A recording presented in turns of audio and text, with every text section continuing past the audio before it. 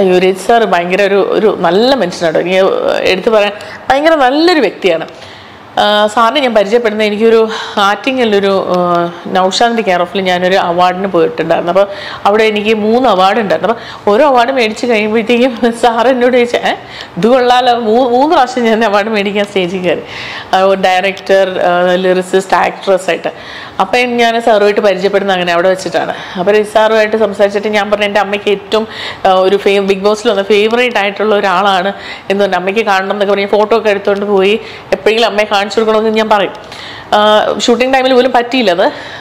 അപ്പോൾ സാറിന്റെ അടുത്ത് ഞാൻ പറഞ്ഞിരുന്നു ഞാനൊരു ഫ്യൂച്ചറിൽ ഒരു വർക്ക് ചെയ്യുമ്പോൾ സാർ എന്റെ കൂടെ വരണം വർക്ക് ചെയ്യാൻ വരണം അപ്പോൾ അങ്ങനെ ഇരുന്നപ്പോൾ ഈ വർക്കിൽ ആക്ച്വലി വലിയ റോൾസ് എനിക്ക് കൊടുക്കാൻ സാറിന് പറ്റിയില്ല. പക്ഷെ എന്നാലും ഉണ്ടായിരുന്ന ഒരു റോൾ ഞാൻ സാറിനെ വിളിച്ചിട്ട് സാർ ഒരു ഒരു കുറേ നാൾ ഗ്യാപ്പ് ഉണ്ടായിരുന്നു. ഒരു സിക്സ് മന്ത്സ് ഒക്കെ കഴിഞ്ഞിട്ട് ഞാൻ വിളിക്കുന്നത് സാർ അപ്പോൾ സാറ് പറഞ്ഞു അയ്യോ എന്നാലും എന്നെ വിളിച്ചില്ല സാധാരണ എല്ലാവരും പറഞ്ഞിട്ട് വിളിക്കാന്ന് പറഞ്ഞിട്ട് പിന്നെ വിളിക്കത്തില്ല എന്ന് പറഞ്ഞു. പക്ഷേ വിളിച്ചു ഉള്ള റോളാണെങ്കിലും സാറ് ഭംഗിയായിട്ട് അത് ചെയ്തു തന്നു.